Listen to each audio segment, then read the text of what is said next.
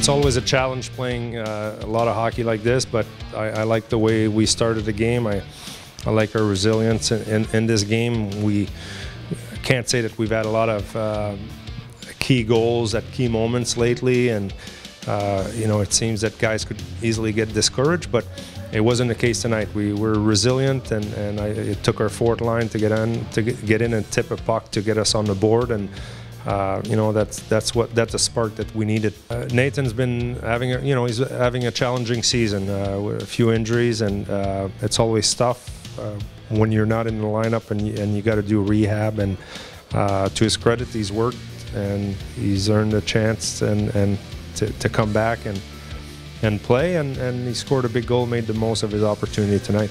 Having Hamel, Bellamy, uh, Pilat out of lineup kind of opens the door for, for guys to step up, and and our guys are uh, you know are, are, doing the best they can. They're they're, they're coming up. It's it's a quick uh, turnaround for a kid like Grenier who comes in and uh, out of midget AAA and got to play two two games in two nights and.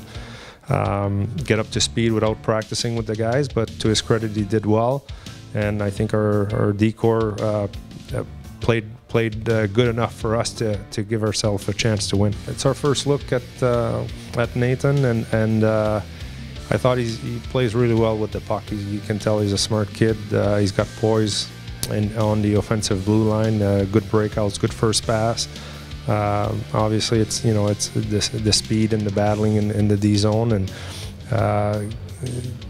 small, some of the small details that uh, I'm sure you'll, you'll get up to speed in no time. Well, we have to play. Everybody's got is getting an opportunity, and I think when we're playing that many games, you know, it's going to be four games and five nights tomorrow. We're playing seven and ten or something like this. Uh, yeah, uh, it's uh, we need everybody, and we need guys. Uh, our fourth line, you can't you can't just keep guys on the bench. You need to play with energy. The first thing to win is uh, you got to get get to the puck first, and if you don't have energy, you can't get there. So we're going to roll everybody.